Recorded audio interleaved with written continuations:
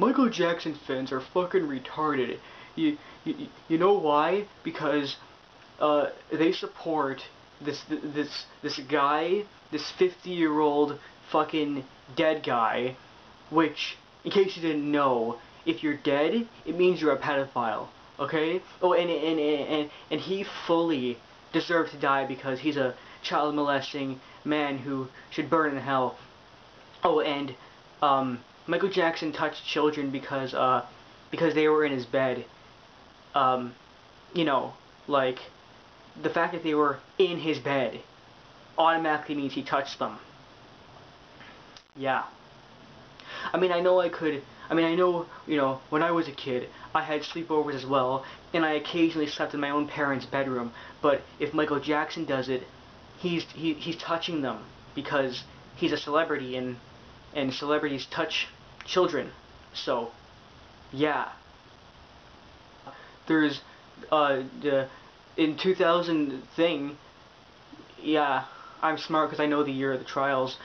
Uh, Michael Jackson was accused by uh, Tom Sneddon, who is a very well-respected and intelligent uh, prosecutor.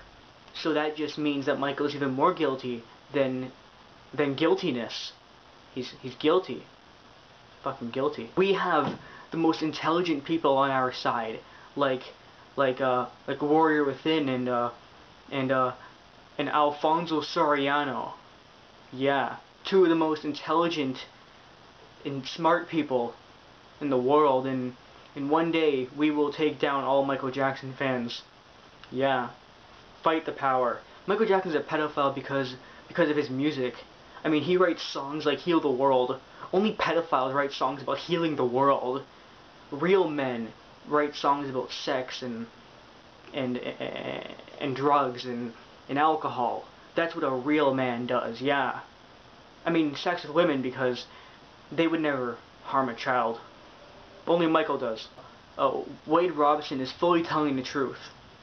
Fully telling the truth because uh, because he told Matt Lauer that he's telling the truth, so it's it's true.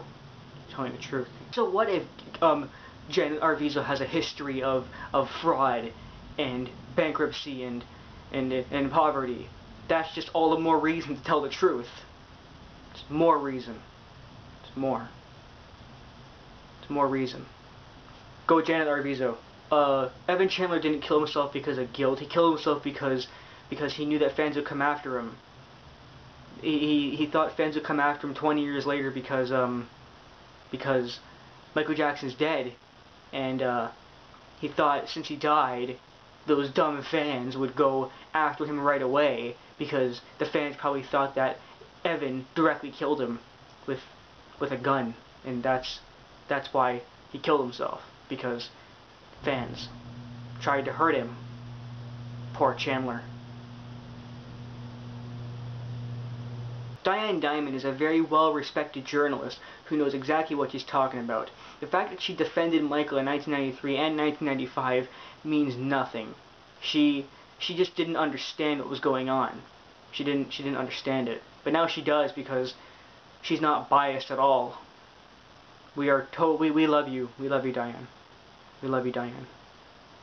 Keep bringing down the evil that is Michael Jackson. The fact that Michael Jackson is a child in his mind proves that he's a pedophile because because children are pedophiles. Wait.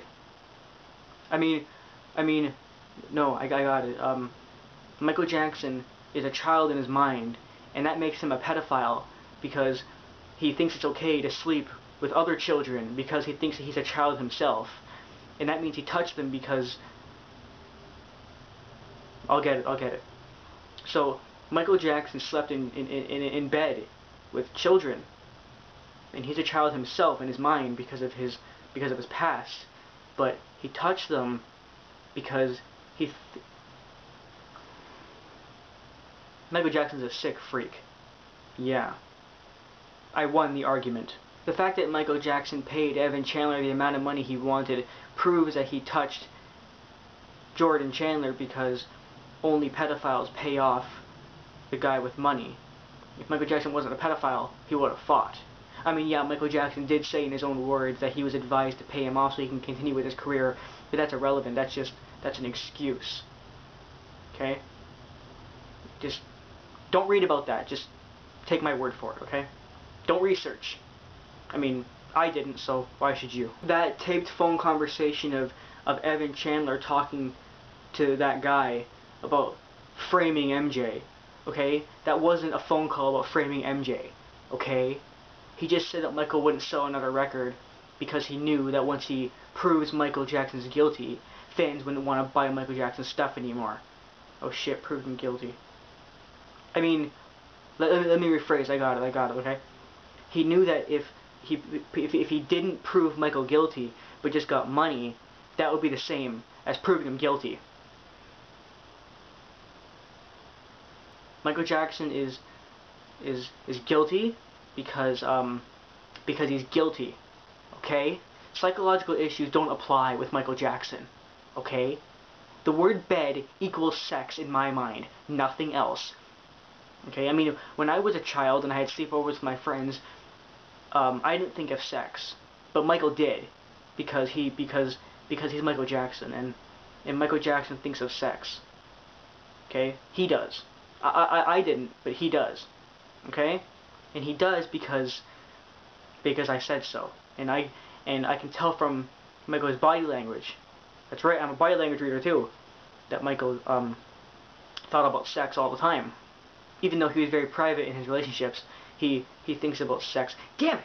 Michael Jackson bleached his skin, and he and he and he grew his hair long, and wore wigs, and had weird makeup on, and he tore his nose off, and and, and all these things prove that Michael Jackson's a pedophile because he he made himself look a little bit feminine, and if you're feminine, you automatically touch children.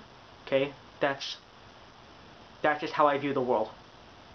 Okay, I couldn't fucking keep this video going any longer. It's so fucking stupid. Talking like an idiot is making me lose fucking brain cells. I don't know how these fucking people even, like, say these things legitimately and be serious about it, but anyway. Okay, so, guys, I hope, um, you guys had, are having a good day. It is June 25th. Michael Jackson died four years ago today. I hope, um, whatever you do, you make it through today. Don't cry too much.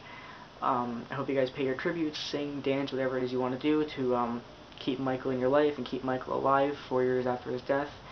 I'm for sure going to be dancing tomorrow, um, hopefully with a couple people and I can make a video. And um, yeah, Michael Jackson, thank you for everything you've done for me. Thank you for how much you've inspired me. I love you very, very much, and I will be I will be a follower of yours until the very end. We all know that you're innocent, and thank you for the incredible gift you gave us the past 45 years. I love you, and I love you all fellow fans. Take care.